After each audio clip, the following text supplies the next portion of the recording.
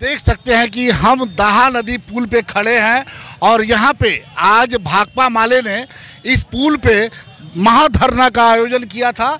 आ, लेकिन हम उस पर बातचीत बाद में करेंगे।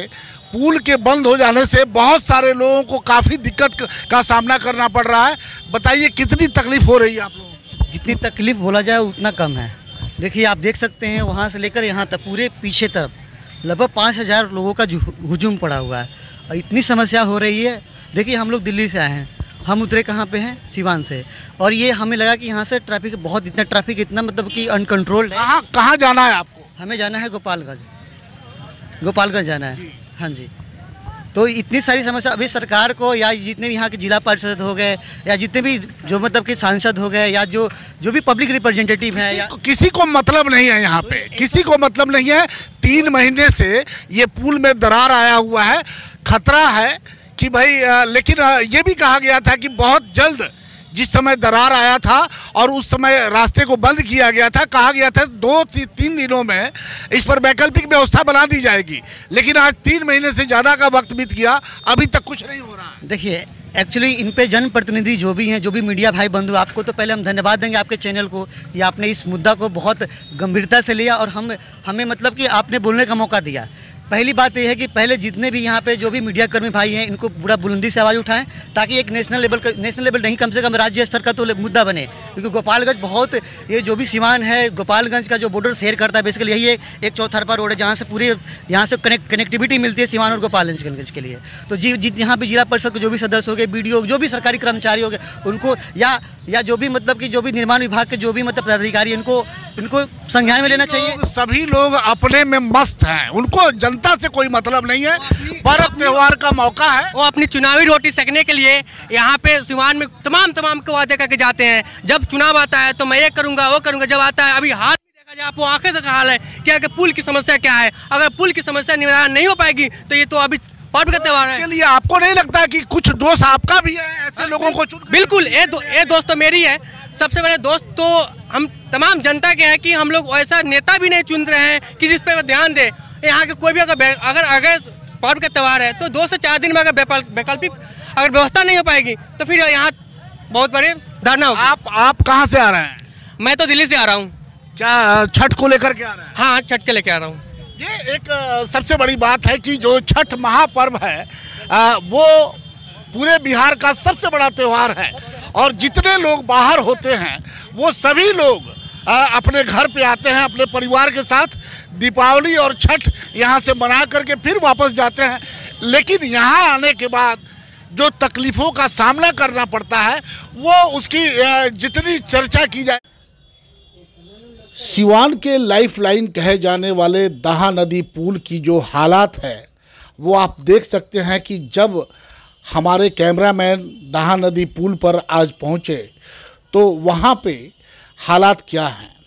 जिला प्रशासन ने पिछले तीन महीना पहले जब पुल पर क्रेक आया था तो रास्ते को बंद कर दिया गया था। सिर्फ़ पैदल लोग आने जाने के लिए उनको खोला गया था, लेकिन और प्रशासन ने उस समय कहा था कि बहुत जल्द इसकी वैकल्पिक व्यवस्था बना ली जाएगी, लेकिन आज तक कोई व्यवस्था नहीं बनी।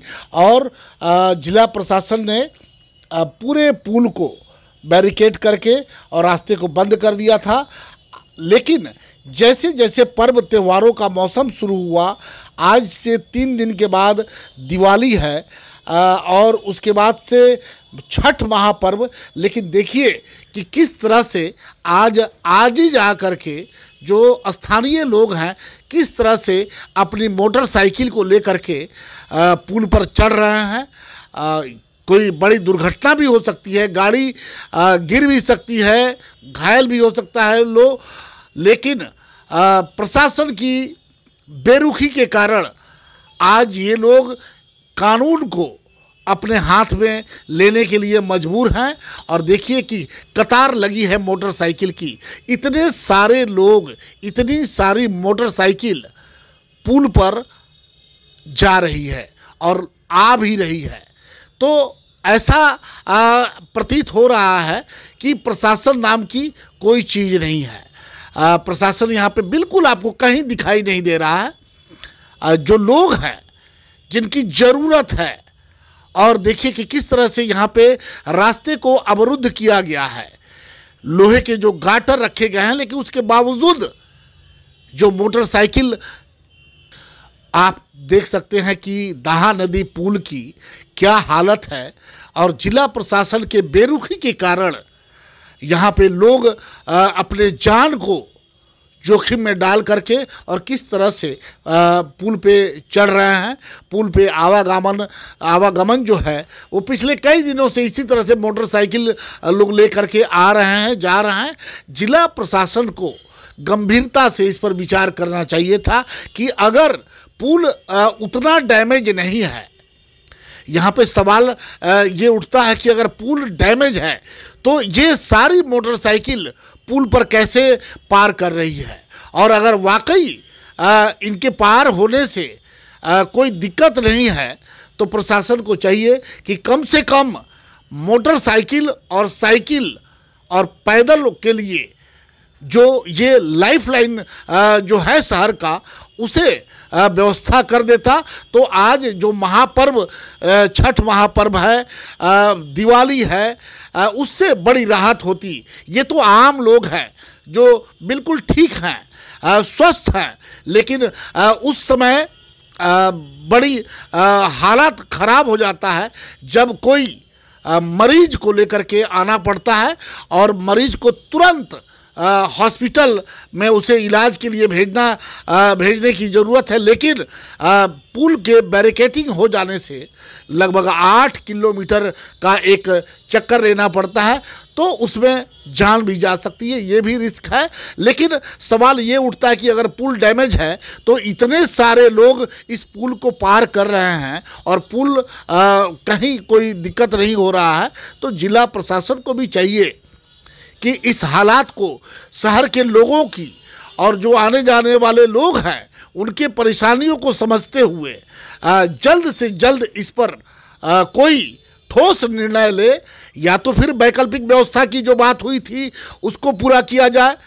पीपा पुल बनाने की बात हुई थी, उसे पूरा किया जाए। और नहीं तो इसी पुल पर, जो पुल के अंदर जो तीन पाया है, जिसमें एक पाया डैमेज है, दो पाया ठीक है, उसको बैरिकेटिंग करके कम से कम लोगों को जो आने जाने का रास्ता है वो क्लियर किया जाना बहुत ज़रूरी है। सिर्फ़ आ, आ, ये कह देने से कि हम वैकल्पिक वैकल्पिक व्यवस्था करेंगे आ, ये उससे उनकी जिम्मेवारी पूरी नहीं